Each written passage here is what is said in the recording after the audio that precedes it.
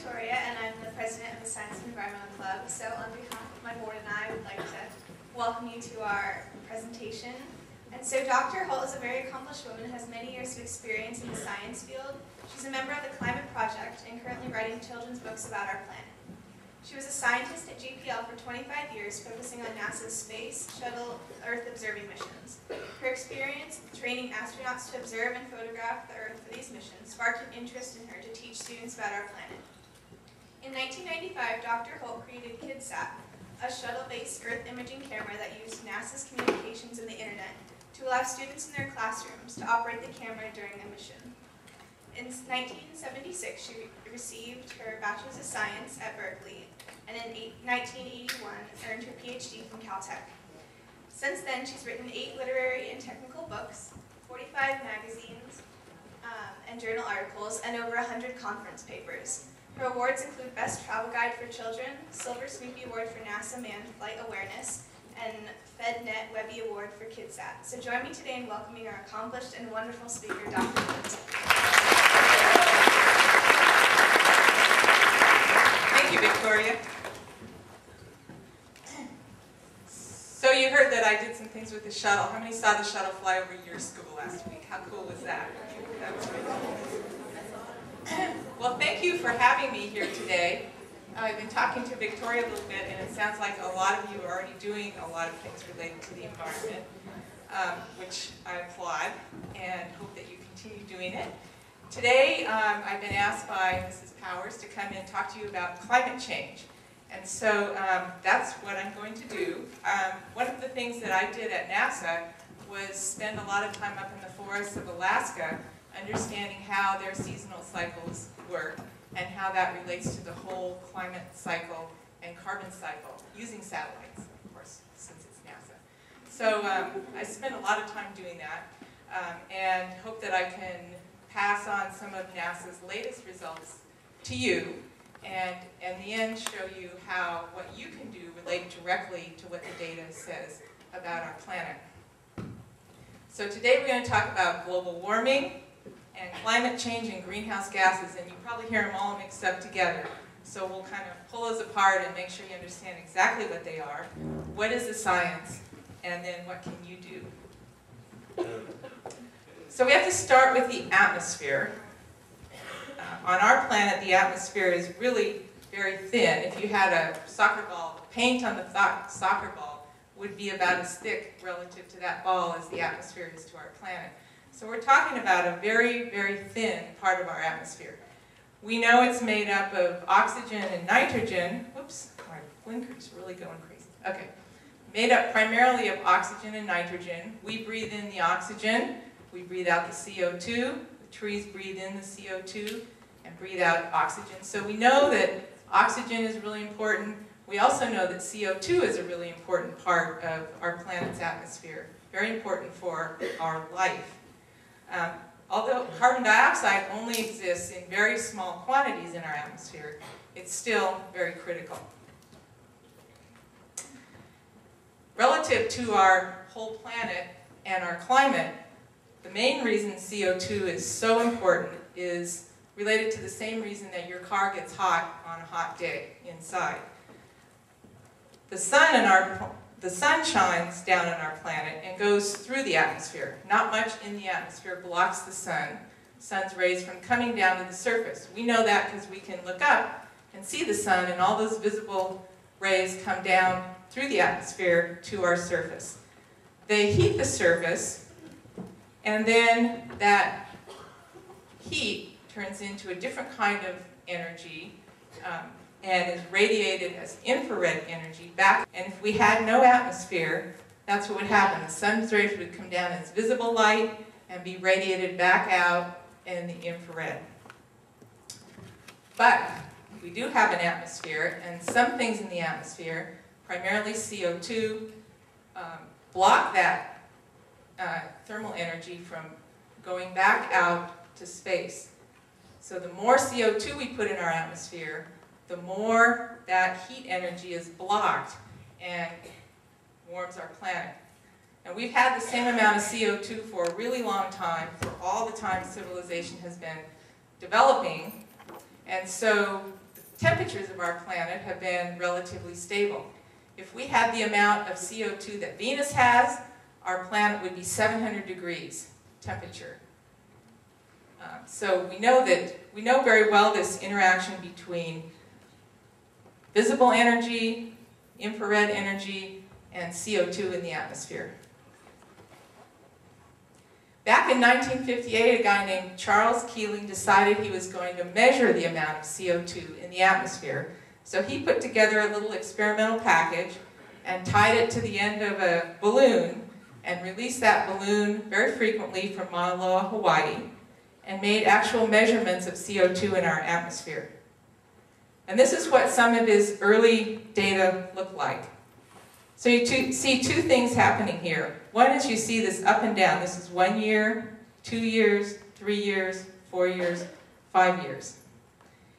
That up and down is easily explained by the way the vegetation is laid out on our planet.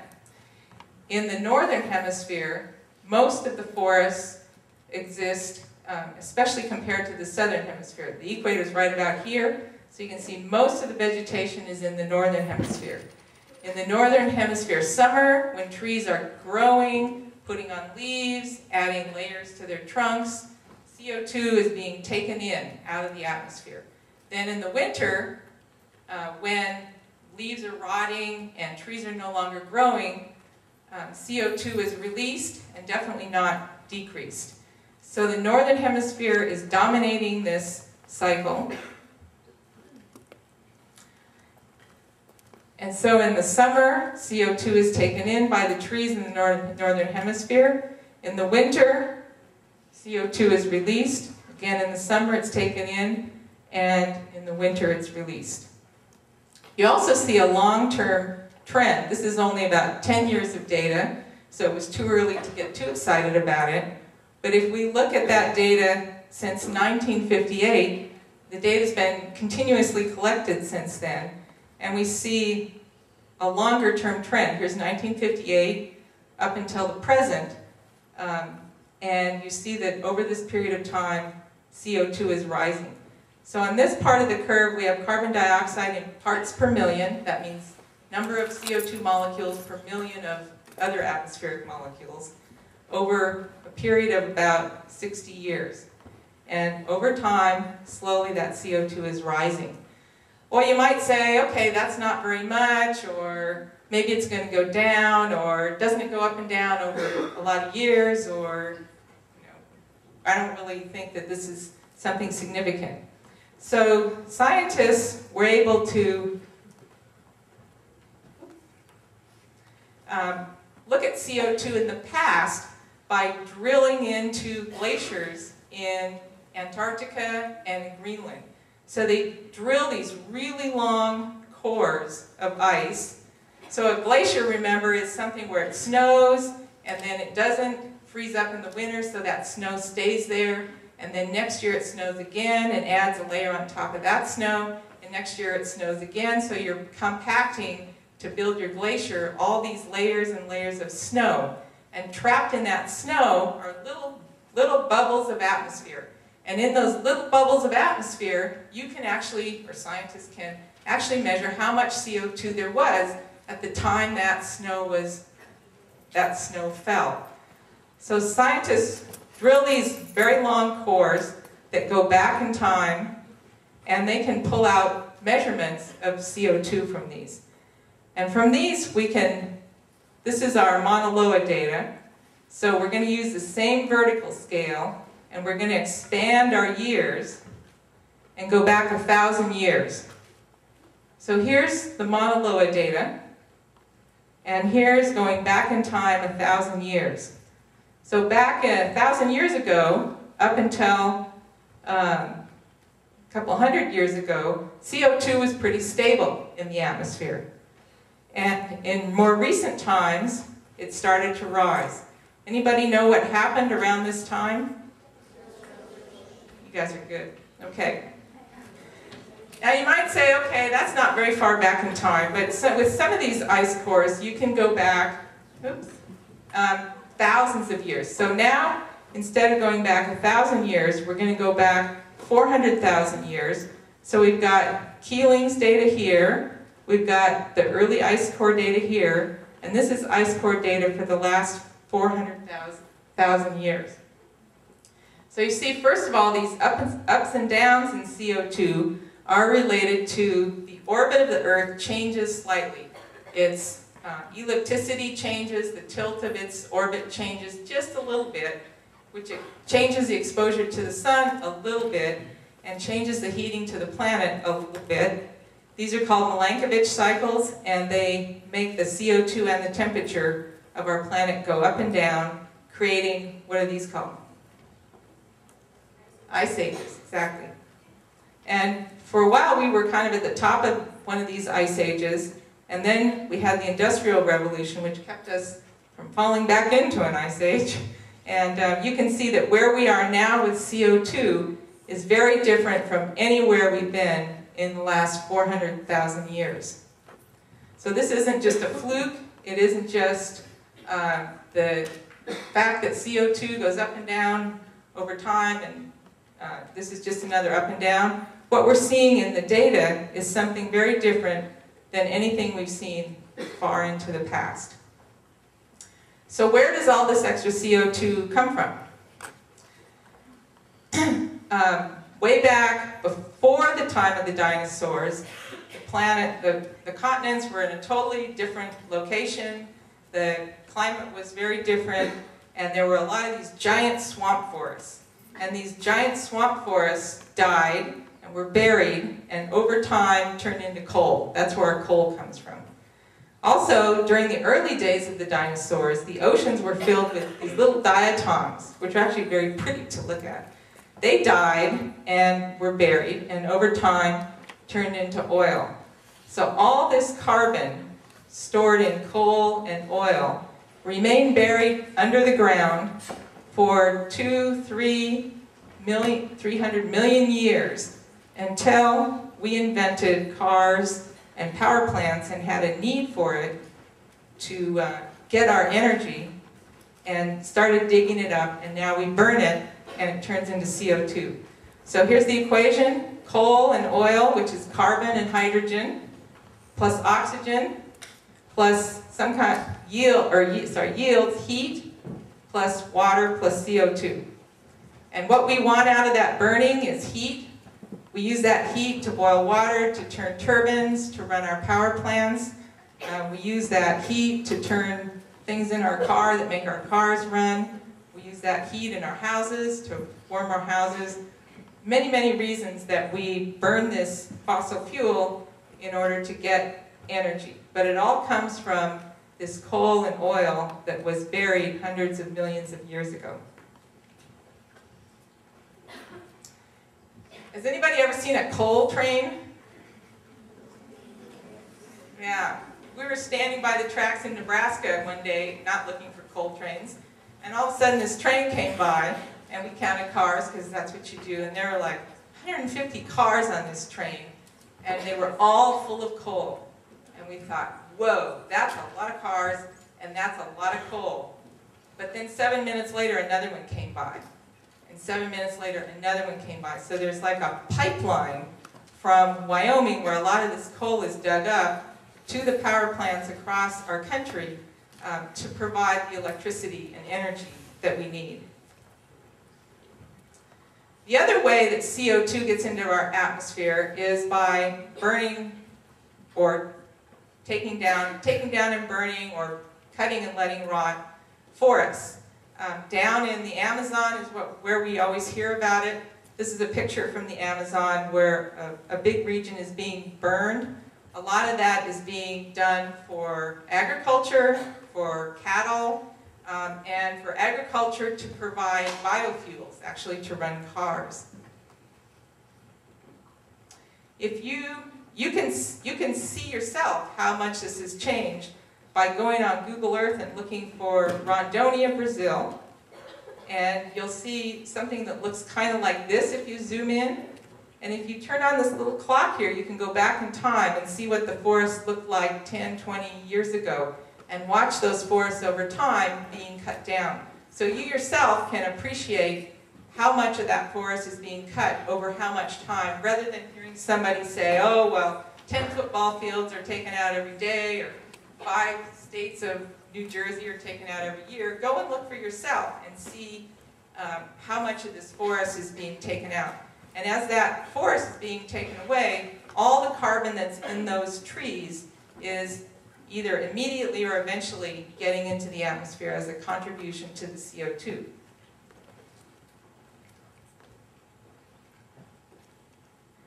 Okay, so over time, we see that CO2 is increasing.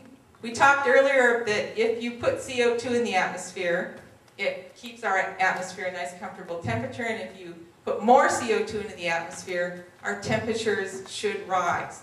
So are they rising? Well, we kind of know last week it was pretty hot, right? So does that mean there's global warming because it was really hot last week? No. Did the station fire mean that there's global warming? Not really.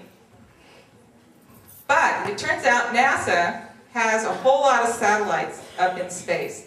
These are the ones that are up there now, and almost all of them measure atmospheric temperature either as a direct measurement because that's what they were sent up to do, or because it's so easy they do it anyway. So we have a ton of measurements of the atmosphere. We also had weather stations all over the planet that have been there for decades and decades. So we know a whole lot about temperature. And there are lots of ways to plot that temperature. This is just one way. So this is the whole planet, and it's for July 2011, and it's the, the color tells you how many degrees above some normal temperature it is in any location. So they took as a normal temperature 1951 to 1980, and if it's really red, then it was a whole lot warmer than that average period, and if it's blue, then it was cooler. So a couple things to notice about this. First of all, the whole entire planet is not getting warmer all the time at every instant. Some parts are getting warmer, some parts are getting cooler. Um, but overall, there's a lot more red than blue. Also, there's a lot more red in the high latitudes, in the South Pole and the North Pole. And actually, this was a period when it wasn't so bad for us. 2011 wasn't as bad as some of the rest of the country. Another way you can plot this is to gather up all the data for all, all the world and plotted as a function of time. And here it's plotted from 1880, where it's mostly, well, obviously there weren't any satellites then, so it's ground stations. And it's plotted up to the present. And again, they're, they're doing, they're showing a difference from some average. So if it's rising, it's a lot hotter than an average temperature over some period of time. Anyway, what we see is that, yes, indeed, the temperature is rising. Now, you also see a lot of this. Temperature is related to weather, and we know weather has El Ninos, it has storms, it has hot days and cool days, so weather is a lot noisier data set than CO2. But over time, it's clear that the temperatures are indeed rising.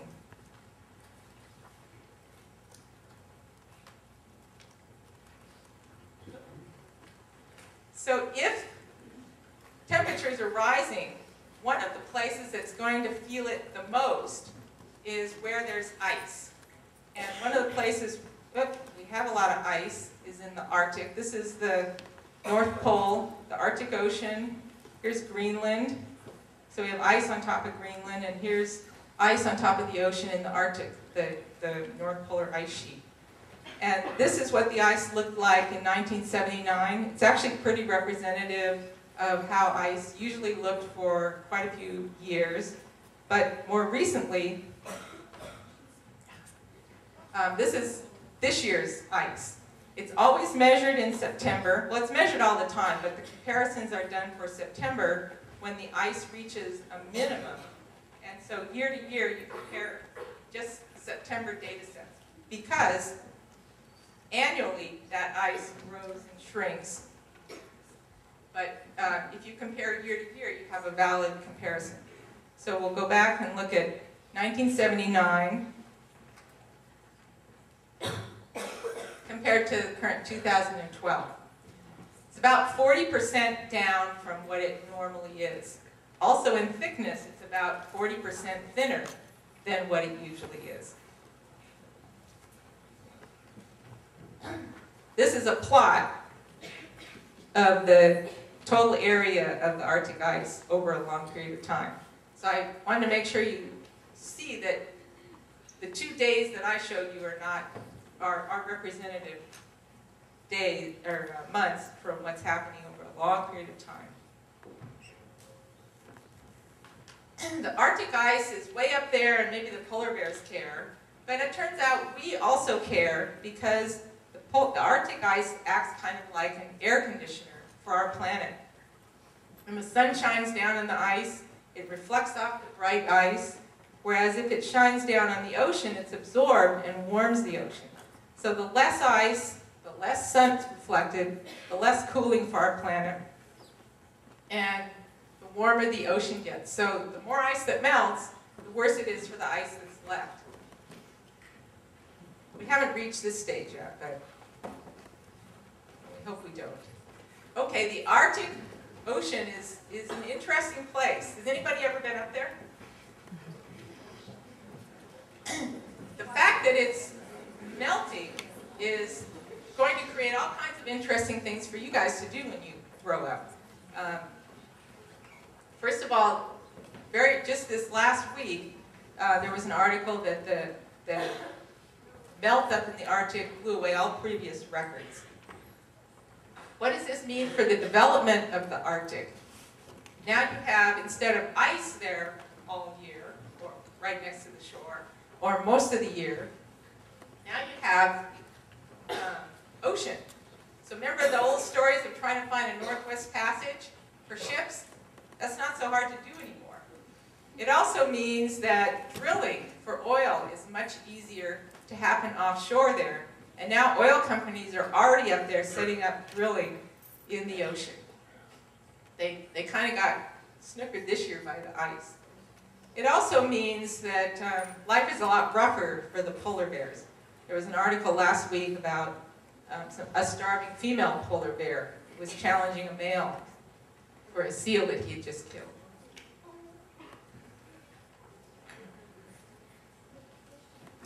So the Arctic matters to us. It also matters that in general our, our uh, land is getting warmer because it is creating more droughts. And those droughts are making it harder for the trees to survive and also making it easier for forests to happen. So even though you can't blame one fire on global warming, you certainly can blame the fact that we're having more fires than ever before and they're harder to fight than ever before on the fact that temperatures are indeed rising. So we've looked at some data and some physics. We've looked at CO2 increasing over time as measured in ice cores and by balloons. Um, we've looked at physics of uh, CO2 helping to keep our planet warm. We've looked at the temperatures rising because of the rising CO2. And we've looked at the ice melting. So, what do we do about it? That's the question. What do we do to stop this rising CO, rising carbon, rising CO2 that we are putting in the atmosphere primarily through burning fossil fuels?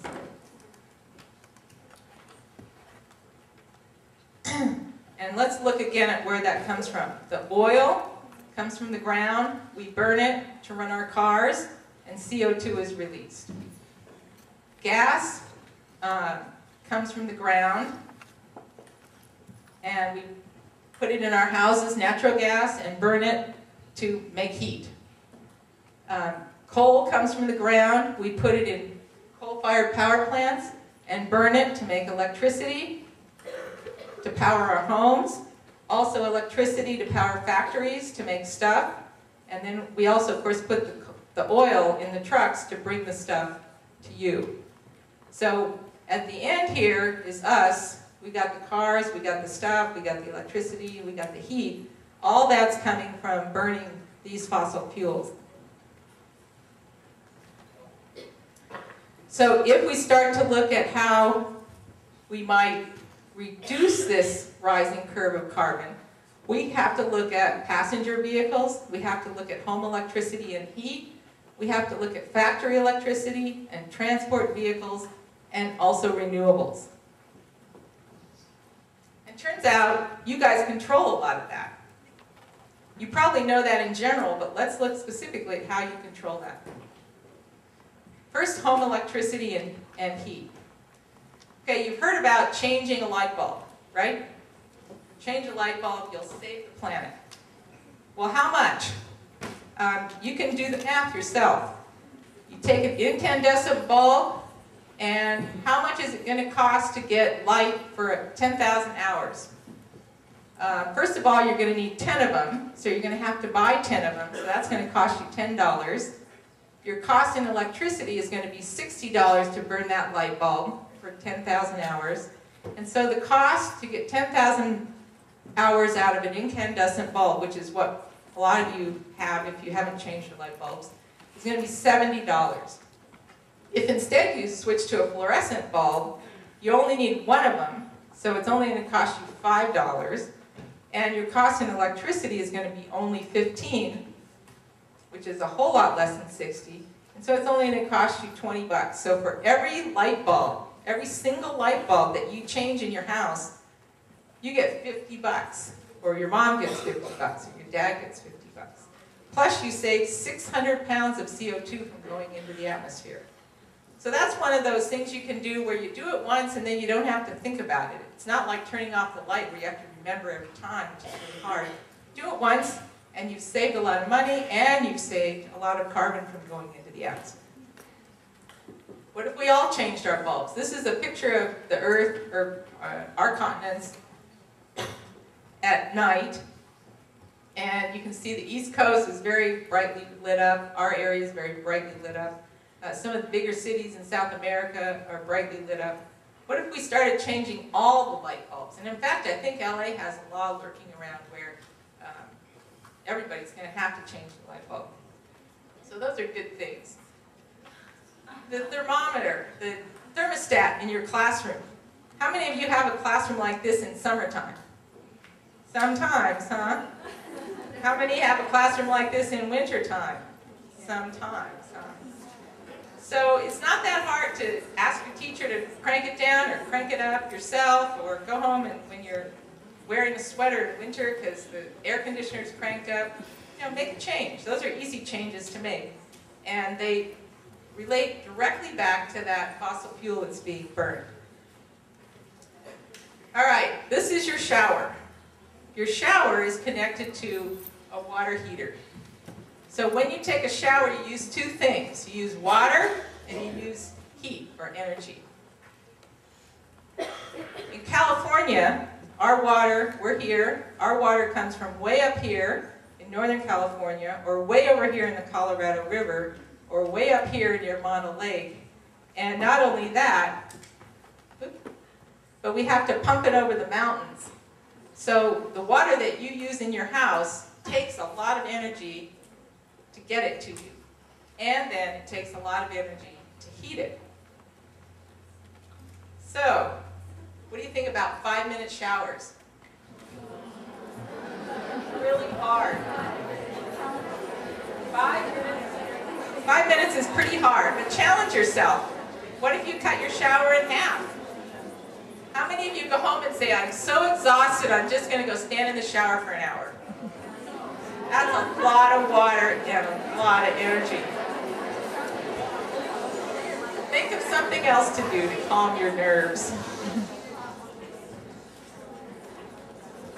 Okay, um, now let's tackle factory electricity and transportation fuel. So we're talking about, we're burning oil in trucks to bring stuff to us. We're talking about coal that's burned in power plants to run factories to make stuff to bring it to us. And we're going to pick on the water bottle. Okay, when I was a kid, we didn't have cup holders or anything like that. And so when we were done with our then glass bottle, we'd throw them out the window. Seriously, we did that. And so as I was a teenager, the big thing we had to learn was don't be a litter bug. That was our big awakening, that it wasn't so nice to litter the sides of the roads with cans and bottles. And they were, and now they're not. So that was the big change. Um, more recently, we think, oh, but all these water bottles, they're making our landfills ugly because they're filled with plastic water bottles that will never decompose. So instead, we put them in the recycling bin, and then the problem is solved, right? No. The problem with the water bottle is not at the end of throwing it away, it's way back at the end of making it. First of all, you've got to dig the oil out to make the plastic. That takes a factory. Then you've got to take the plastic and make the bottle. That takes another factory. And then you've got to dry, fill, fill the bottle and then drive that to the store, and that takes transportation fuel. And finally, you get your bottle, which you enjoy for, what, five minutes? And then you throw it away, right? So it's not so much the throwing away that's the problem, it's the energy back to make the bottle in the first place that is causing much more trouble than making our landfills ugly. So if instead you have a reusable bottle, you do have to make it once, but you're only using that energy one time to make it. Okay? All right. Now, think of all the other things that might be like that in your life. What about backpacks? Does everybody absolutely need a brand new backpack every single year? You absolutely need brand new bikers every single year? But think about it. Think about when you buy something, do you really need that?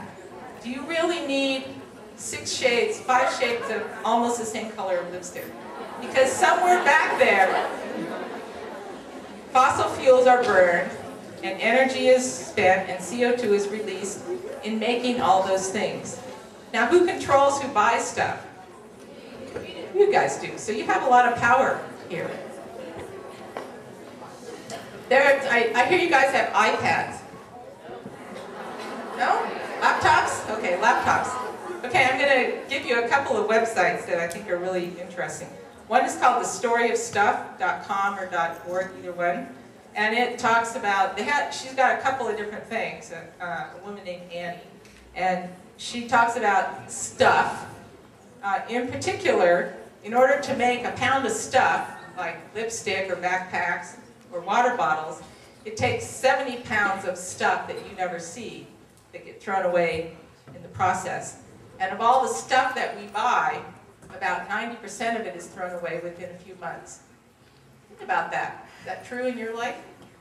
So she talks about this whole process, and it's a great little um, online video that you can watch.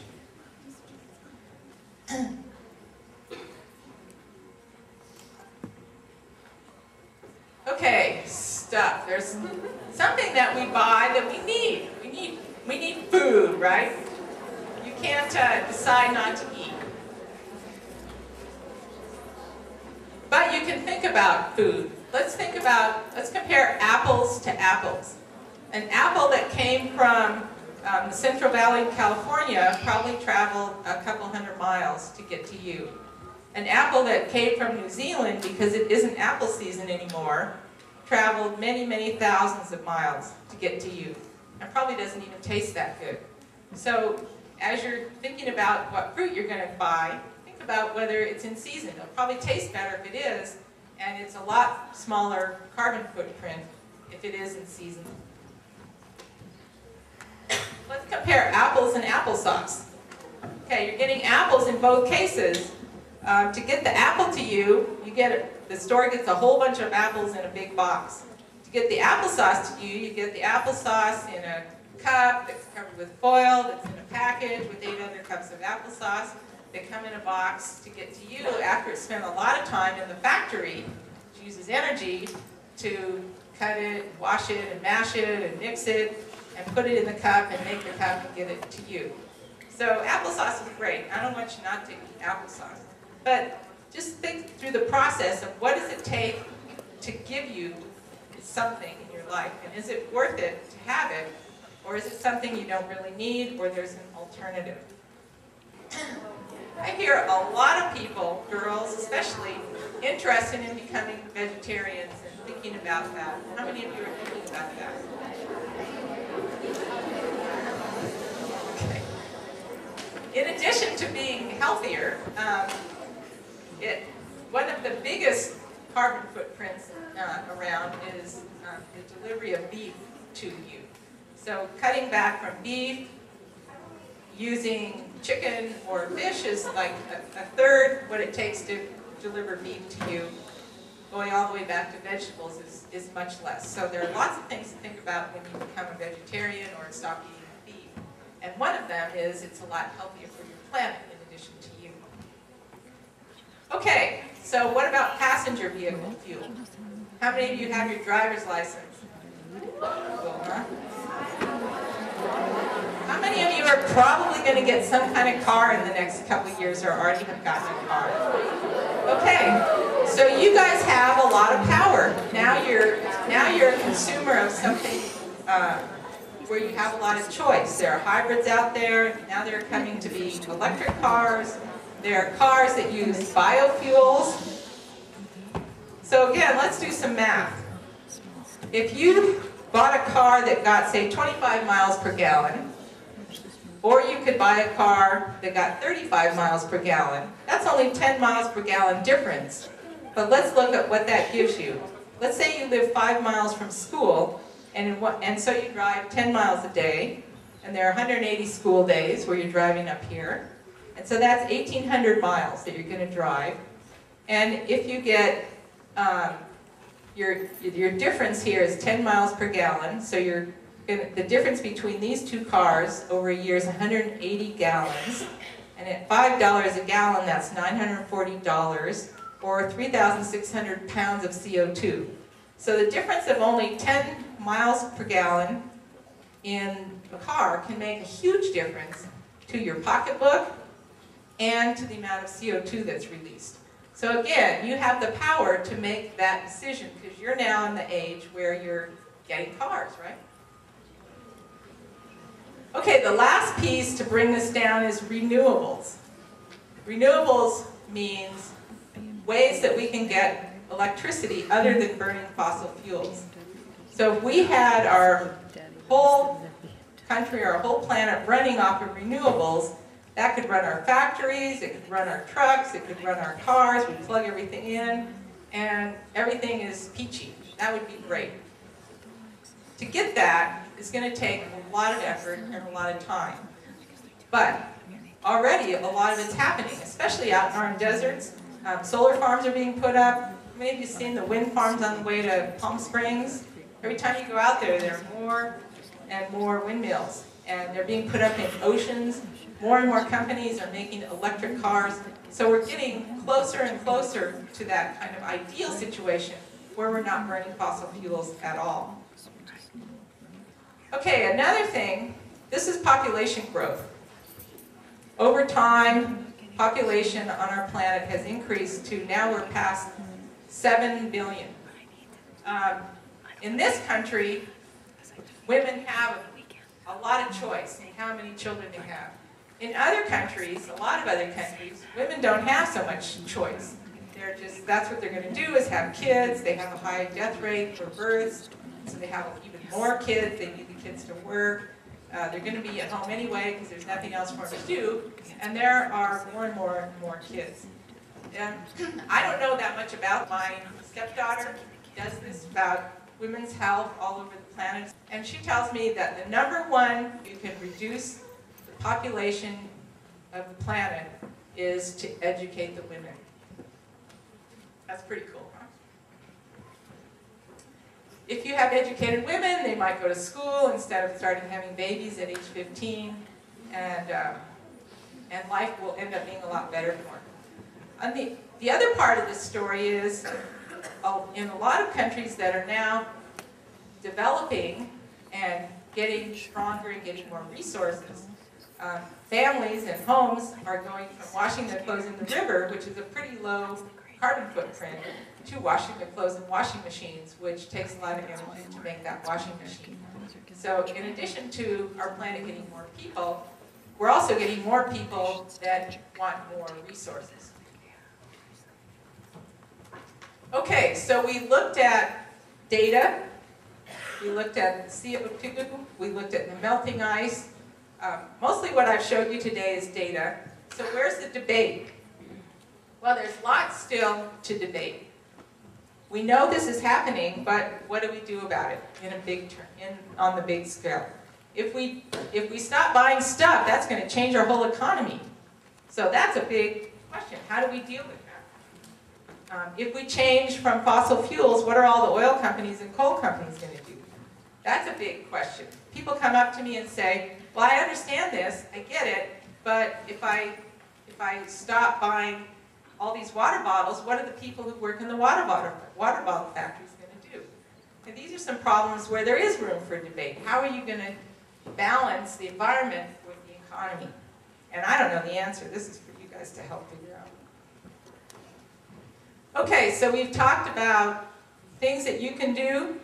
That shower, don't forget that shower, five minute shower, changing your light bulbs, turning down your thermostat, thinking about fuel efficient cars, uh, thinking about a water bottle that you reuse. And I want to tell you about a couple of things that young people have done or are doing. Um, first of all, there's a kid named Alex Loorz who's from Sierra Madre, and he started talking, giving talks to schools about the climate when he was about 13 years old. And now he's almost 19, I think, and he's given like a thousand talks to schools. He's an amazing kid, and he started this website called Kids versus Global Warming. I'll give you the website at the end. And there's this little part on it called iMatter, which is very, very clever, so I encourage you to look at what he's done. East Altadena Little League gave, gave every player a reusable water bottle. And actually, most of them started using them and brought them to games. So instead of, after a game, under the benches in the dugout being totally littered with water bottles, um, everybody took their water bottle home and brought it back the next time. High Point Academy, how many of you are from High Point Academy? Uh, a couple years ago, they started a wasteless living program where uh, kids are asked to sort their trash between compostable, recyclable, and real trash. And not only they, were they asked to do it, but they went and, uh, and so they understand why they do it, they understand how to do it, and they actually do it. And uh, the parents don't quite get it, but the kids are really good. Girl Scouts, how many of you are Girl Scouts? A lot of you kind of snuck past lot of you snuck past these new journeys that they have, and some of you kind of roll your eyes at these new journeys. But there's one series called It's Your Planet, Love It, and all the and at all the different levels, um, the projects that you do are related to understanding the environment, either the water or energy, or at the cadet level, there's a journey called Breathe, or at the senior level, there's a journey called So What, where you um, understand about eating, global hunger, and how what you eat matters to your to climate change. I was in Africa two summers ago visiting my stepdaughter who's right here and it was amazing how many young people from our country we randomly ran into who were over there teaching women, educating women. It was it was impressive to see how many how many people there were anyway over there, and how many of them were actually there for the specific goal to educate women. So a lot is going on. Um, some of this kind of seems overwhelming. The facts are in that it's, it's really happening, what we do about it, plenty of debate, plenty of room for debate there, but also plenty of opportunity. And as, they, as the uh, flight director said in the Apollo 13 movie, I believe this is going to be our finest hour. These are, whoop, these are a couple websites for you. The first one is climatenasa.gov. That's NASA's website about climate, where you can see a lot of the graphs that I showed you, along with explanations, so you can go there and find these, this information for yourself. The second one is the story of stuff, which I mentioned, which has a little online video about stuff and water bottles, things like that. Um, the third one is Alec Loorz's website, the, the young man who has been fighting global warming by educating kids for quite a few years. And the last one is my new website called Climate Moms, because I think half your problem is your moms at home. You can, you can do a lot, but if mom's gonna do it the other way, then that makes it really tough. And uh, please go on Google Earth and look at the Amazon forest. Okay, thank you very much.